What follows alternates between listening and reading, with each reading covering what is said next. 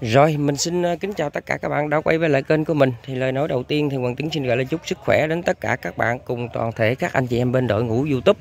À, xin chúc cho tất cả các bạn ờ, có một à, ngày làm việc à, thật là vui vẻ và an lành các bạn ơi. Đó, thì à, hôm nay thì mình vừa hoàn thành xong tổng kết những cái đơn hàng như thế này. Đó, thì cái đơn hàng đầu tiên, cái đơn hàng đầu tiên là của anh anh Khoa anh Pha địa chỉ của ảnh là khóm 2 phường à, Hậu Phòng à, thị xã Giá Gai Bạc Liêu các bạn.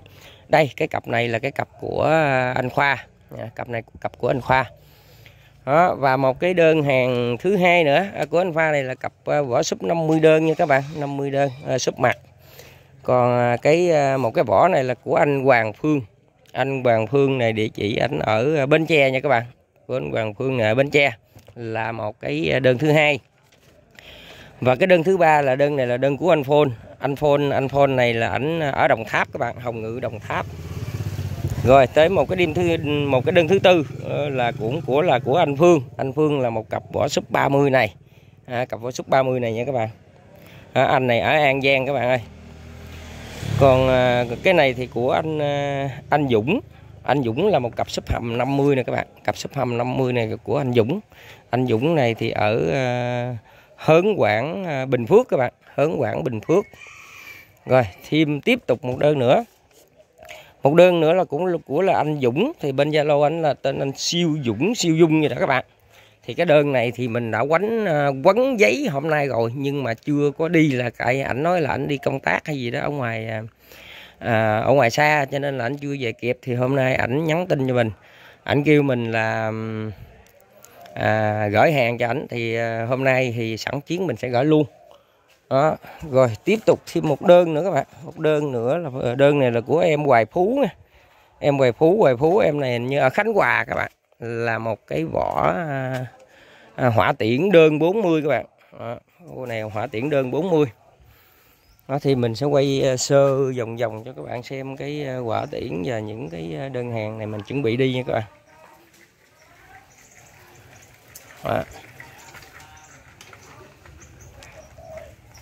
rồi thì mình cũng đã là báo uh, tất cả những cái đơn hàng này thì của anh khách này là chuẩn bị đi. Thì uh, trong cái thời gian gần đây uh, thì uh, các bạn cũng đã thấy rồi. Mình về đây á thì uh, cái uh, cái không gian làm và cái thời gian làm thì nói chung là nó rất là ổn. Nhưng vì một cái vấn đề uh, như thế này thì từ ở chỗ mình mà qua tới bên bưu cục mà để gửi hàng cho tất cả các bạn thì nó cách tầm khoảng nếu uh, chuyến đi và chuyến về luôn thì ờ, tầm khoảng uh, cũng hai ba mươi cây số các bạn. Đó cho nên là những cái đơn hàng này mình sẽ làm xong một lượt giống như là một lô hàng. À, một lô hàng nó rất là nhiều đơn. Đó, để mà mình ờ, kêu xe tải lại để họ vận chuyển một lần một để mà đi cho nó đỡ cái tiền vận chuyển các bạn ơi à, cho nên là có những cái đơn hàng của anh em à, ở xa à, mình đã làm xong rồi nhưng mà mình tạm thời là mình giữ cái đơn hàng lại đó để mà khi à, chừng nào cho đầy cái xe tải rồi thì xe tải sẽ đợi đây à, lấy một lượt một rồi mình mới chuyển luôn các bạn ơi. Chứ còn à, các bạn mà kêu mình chuyển từ cái đơn nhỏ thì nói chung nó cũng khó khăn cho mình quá. Về vấn đề này thì các bạn cũng thông cảm bỏ qua cho. À, thì hôm nay thì mình đã hoàn thành hết rồi các bạn thì mình à, rất là vui à, khi mà được à, những cái anh em và các bạn gần xa trên mọi miền đất nước cùng đến với cái xưởng lo Hoàng Tứng trong suốt cái thời gian qua. Và đặc biệt là những mà người khách ở trên kênh. Thì cũng có những anh em mà họ theo dõi cái kênh của mình để mà mình để mà họ họ mua hàng các bạn còn có những anh em thì cũng theo dõi cái kênh mình để coi cái cái kênh mình đang làm cái gì cái gì để mà à, cái nào mà dở á, à, thì à, họ chê còn cái nào mà hay á, thì họ không có khen. À, và đặc biệt là cái hàng của mình là mình chỉ bán riêng cho những anh em làm xô à, và những anh em tự lắp ráp tại nhà để mà họ có cái um, họ có cái cái uh, mà mà sản phẩm để xài chứ không có giống mà mà, mà những anh em mà họ làm mà thợ. À, thì những anh em thợ thì nói chung là hầu hết là không có mua cái hàng bên mình được các bạn. Tại vì nói chung hàng thì của mình thì giá nó cũng là à, giá nó cũng hơi cao hơi nhích hơn những cái thị trường. À, tại vì những cái dòng vỏ chỗ khác các bạn là họ đóng là họ đóng theo kiểu công nghiệp họ đóng là cái, cái số lượng nó nhiều để mà họ đợi khách yêu cầu mà họ à, nghe được những cái cuộc gọi của khách là họ sẽ chuyển hàng ngay họ đóng họ họ đóng để sẵn. Cái thứ nhất là họ đủ điều kiện máy móc họ rất là nhiều và dân công họ rất là đông. À, và cái à, à, cái đó là cái mà thuận tiện cho họ. Còn mình ở đây thì nói chung mình sản xuất là mà sản xuất ờ, không kịp. À, tức là không phải là mình nói là cái hàng của mình nó nhiều. À, nhưng mà nó nhiều hay không thì các bạn cũng nhìn cái xem cái kênh mình các bạn cũng đã biết rồi đó thì bây giờ các bạn thấy rồi đó video thì ít lên nhưng mà lên xong là các bạn thấy là cả đống hàng như thế này. À, tại vì ở đây là mình mình tính theo cái thời gian theo cái quy trình sản xuất và cái cái đợt để mà mình à, có thể là gói hàng và gửi đi. Ừ, cho nên là mình ít làm video là nhưng mà các bạn thấy là cái video của mình là các bạn thấy à, sản phẩm nó rất là nhiều. Đó, thì khi mà mình xong được những cái sản phẩm này rồi thì mình sẽ sẽ sẽ thuê xe tải để mà họ chuyển qua thẳng bên bưu cục. Thì cái thứ nhất á, là nó thuận tiện và cái thứ hai là nó an toàn.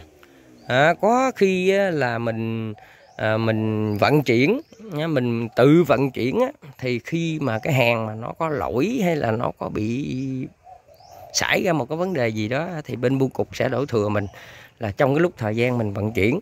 Đúng không các bạn? Nhưng mà à, cái vấn đề đó thì thật sự mà nói thì nó cũng ít có xảy ra lắm. Nhưng mà nó xảy ra rồi thì nó hơi phiền phức.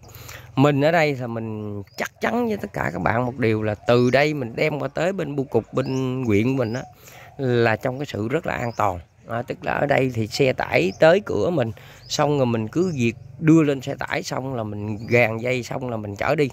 Đó, còn cái vấn đề mà nói về nó bị gớt hay bị này bị kia thì cái cái cái ờ, à, cái đoạn đường mình qua bưu cục bên kia là không bao giờ có cái việc mà đó mà xảy ra tại vì cái đó là chính tay mình làm. À, chẳng hạn như mình có lỡ tay mình gớt hay là mình gì đó thì mình cũng bóc nó ra xong rồi mình phải sửa lại đâu đó cho đàng hoàng xong mình mới gối hàng mình cho đi trở lại. Còn ở bên những cái um, cái chỗ mà bu tá của tất cả các bạn đó thì trong cái thời gian này mình thấy Ờ, những cái tỉnh và những cái huyện và những cái bưu cục mà để nhận cái hàng này thì mình thấy cái làm việc rất là lơ là. Và một cái thứ hai nữa là, là mình rất là buồn luôn là khi mà hàng đã qua tới bên bưu cục đích bên kia rồi bưu cục đích bên các bạn rồi mà họ không chịu giao là không biết vì cái lý do gì. Chẳng hạn có lẽ là mình suy nghĩ là có lẽ là à, họ phải đợi họ phải đợi một cái thời gian và cái thời cơ nào đó để mà họ chuyển cho tất cả các bạn để cho nó ít chi phí. Tức là phải đợi cái hàng nó về cái hướng đó rồi sẵn mới đem giao cho người ta. Đó, cho nên về vấn đề đó, có những anh em họ nói sao hàng lâu quá. Có thể nói là cái hàng nó qua, đã qua tới cái bưu cục tất cả tất cả các bạn rồi, nhưng mà cái bưu cục đó họ không chịu phân phát thì cái hàng nó vẫn nằm ở bưu cục đó. Nó về cái vấn đề thì hôm nay là mình rất là buồn. Và hồi sáng này mình cũng mới nhận được một cái cuộc gọi từ cái bưu tá bưu tá chứ không phải là bên bưu cục mà ở bên uh, bến tre. Ở long an. Long an gọi cho mình là phải đòi tiền thêm ờ, về cái sản phẩm đó.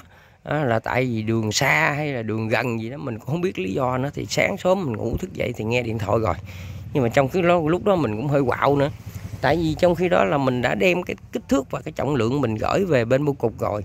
Thì họ mới tính cái cước rồi mình mới báo lại cho các bạn. Nhưng mà người ta nhưng mà những cái anh em bu tá mình đó họ đòi tiền thêm. À, tức là họ muốn tiến kiếm thêm tiền cà phê hay sao đó. À, thì mình mới nói là bây giờ muốn gì thì cứ nói thẳng đi nói lòng vòng. À, ban đầu thì nói ừ cái à, số lượng ký đồ này kia nó trên lệch hay nói này nói kia mình cũng nói mình nói thẳng mình nói ở bây giờ vào vấn đề chính. Nói thẳng đi bây giờ muốn tiền thêm hay sao đó đặng tôi biết đường tôi tính. Đó, rồi hàng người ta thì tới bưu cục thì không chịu giao đó, mà tiền thì đòi thêm. Cho nên về cái vấn đề này các bạn hãy hết sức lưu ý khi nhận hàng các bạn phải lột ra kiểm tra. Đâu đó đàng hoàng cảm thấy ok thì các bạn nhận hàng và thanh toán. Còn không ok chẳng hạn như thấy những cái gì đó mà nó khó chịu hoặc là chúng ta không xử lý được á hoặc là không có bỏ qua được thì các bạn cứ alo cho mình. Xong rồi kêu cái người bưu tá đó phải gửi ngược về cái hàng bên mình tại vì cái bức xúc ở đây là các bạn biết tại sao mà mình mới nói gì. Làm việc ăn lương của bố cục mà làm việc không có tâm. Thứ nhất là đòi tiền thêm. Cái thứ hai là ẩu thả trong cái công việc của mình. Những người như vậy là các bạn thấy họ không thể nào làm chủ được các bạn. Mà họ chỉ làm tớ thôi. Thì cái điều đó là cái điều đã rõ ràng nó nằm trong đó chứ không đường nào chứ. Nếu như những cái anh bu tá đó mà anh liên hệ, anh làm tiền, làm làm núng, làm nảy với mình thì các bạn đã rõ ràng, đã thấy những người đó chỉ làm tớ thôi chứ không làm chủ được các bạn. Tại vì mình làm việc không có tâm thì mình sẽ không bao giờ làm chủ được. Cái đó là mình nói thật sự luôn. Không phải mình khi dễ. Nhưng mình bây giờ nè, các bạn thấy rồi mình tự làm, tự sản xuất thì mình vừa chủ mà vừa làm tớ luôn các bạn. Cho nên là những cái gì đó mình đặt cái nhiệm vụ mình trong cái sản phẩm của mình, cái nhiệm vụ phải nói là một cái tinh thần cực kỳ là cao quý luôn các bạn. Đó, mình đưa ra những cái tiêu chí và những cái gì đó nó kỹ lưỡng trong cái sản phẩm của mình phải nói là cực kỳ luôn. Mấy đứa con của mình và mấy đứa cháu của mình cũng vậy nó làm chịch cái gì là mình la dữ lắm các bạn. Tại sao? Tại vì khi mà mình muốn làm một người chủ đó trước tiên là mình phải làm tớ trước. Mà khi mà mình đã làm tớ một thời gian rồi là mình đã biết được ở trong cái nhiệm vụ để chúng ta làm việc nó như thế nào đó, làm việc như thế nào? Mà những cái người mà làm việc như nãy giờ mình nêu trên là các bạn thấy những cái người đó chẳng có ra gì hết các bạn. Cho nên là các bạn nhận hàng là phải kiểm tra hàng đâu đó ok xong mới thanh toán. Còn cái vấn đề mà của bưu tá mà họ chuyển nó có một cái vấn đề gì đó thì các bạn hãy nên suy nghĩ cho kỹ trước khi mà điện thoại cho mình. Có những anh em họ gọi điện cho mình mà giống như họ mắng mình luôn các bạn họ nói là hàng chuyển về mà nó gì vậy đó, cái đó là không phải lỗi của mình nha các bạn. Các bạn nên nhớ cho rõ, những anh em đó là nói chung là họ thiếu cái suy nghĩ. Trước khi mà cái hàng nó có đã xảy ra cái chuyện gì đó thì trước tiên là các bạn phải suy nghĩ là cái lý do và cái trách nhiệm này là của ai trước cái đã. Chưa gì trơn thì các bạn đã vội chửi mình rồi thì nếu như nó có xảy ra một cái vấn đề gì đó thì các bạn khoan hay nhận hàng các bạn cứ liên hệ với mình rồi mình tìm cách để mà mình tính toán ờ, để mình giải quyết cái cái cái cái vấn đề đó như thế nào. Còn những anh em mà gọi gọi điện về là chửi thẳng luôn. Đầu tiên vô là mình mình cũng lịch sự mình hỏi à, có chuyện gì không hay là anh đang nhận hàng này kia thì chửi thẳng luôn. À, nói à, hàng tôi đặt vậy vậy mà vậy đó cái đó là phải lỗi của mình đó các bạn. Cho nên mình muốn nhắc nhở cho tất cả các bạn gần xa trên mọi miền một cái điều đó là cái điều thiết thực nhất và cái điều quan trọng nhất. Các bạn hãy kiểm tra hàng cho thật là kỹ lưỡng. Để sau này các bạn không có thể mà quay lại để nói mà à, mình chuyển hàng ẩu tả này kia bị việc phần nó mình đâu đi theo các bạn. Mình cũng vẫn đang ở tại xưởng chuẩn bị tiếp tục sản xuất chứ không thể đi theo cái chuyến hàng đó được đó, nhưng mà lần nào đi cũng vậy hết là trong tâm mình cũng rất là cầu nguyện cho những cái chuyến hàng mình đi cho nó được an toàn cho được chót lọt để nó không có cái sự gắt gối cái đó là cái ý đó là là không phải của mình. Cho nên về cái vấn đề này các bạn hãy suy nghĩ cho thật là kỹ. Và những anh em nào có cái tính thận trọng thì chúng ta nên bóc nó ra để mà chúng ta kiểm tra. À, làm sao cho nó ok xong hãy nhận hàng. Tránh cái trường hợp để cho anh em mình các bạn và mình là không có cái gì đó để mà hiểu lầm với nhau. Đó, để mà chúng ta nặng lời với nhau các bạn. Tại vì chúng ta sống là phải luôn vui vẻ các bạn. Vui cũng sống mà buồn cũng sống. Thì tại hà cớ gì mà chúng ta không tìm cái cách cách vui vẻ để chúng ta sống? Đó.